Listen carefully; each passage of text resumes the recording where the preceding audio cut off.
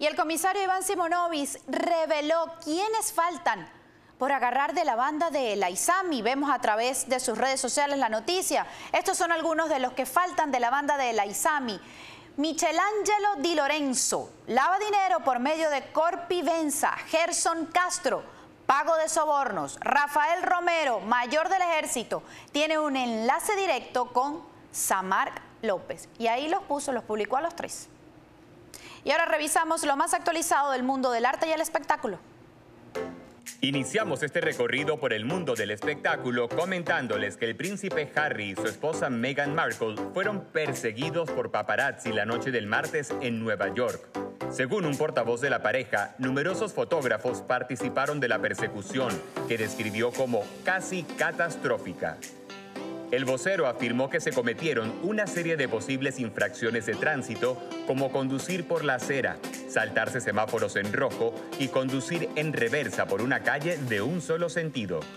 Los duques de Sussex iban acompañados por la madre de Meghan, Doria Regland. Habían asistido a la ceremonia de la MS Foundation for Women, en la que Meghan recibió un premio.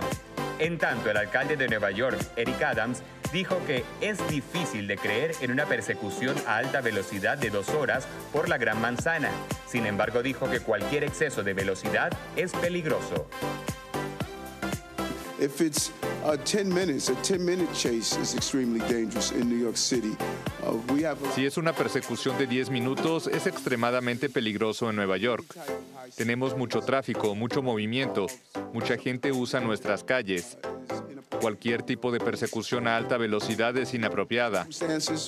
El príncipe culpa a la prensa de haber causado la muerte de su madre, la princesa Diana de Gales, en un accidente automovilístico en París en 1997, mientras era perseguida por paparazzis. Y continuando con más notas de la familia real, les comentamos que el príncipe William y Kate Middleton se dejarán ver en la serie The Crown de Netflix. La producción precisó que estos personajes estarán interpretados por el actor inglés Ed McVeigh y la actriz Meg Bellamy, e indicó que será la sexta y última temporada.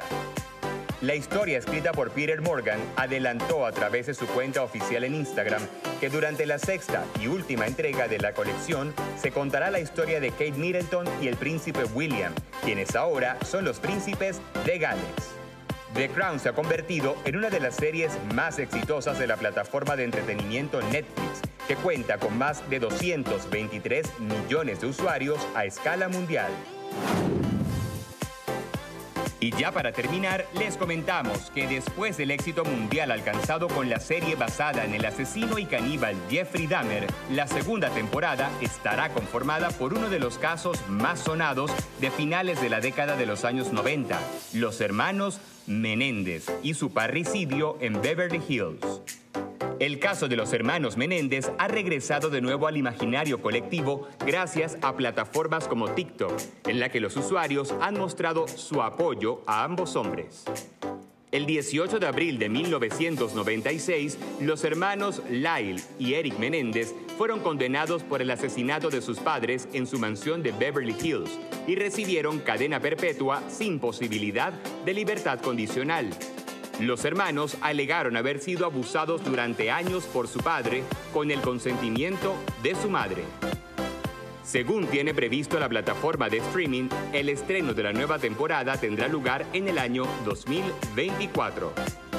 Y hasta aquí el recorrido por el mundo del espectáculo. Les acompañó Jorge Riveros. Hasta la próxima. Gracias Jorge y con esto nos despedimos. Chao, chao.